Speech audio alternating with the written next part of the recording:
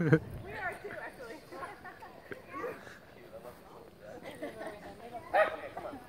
they're in film school, so.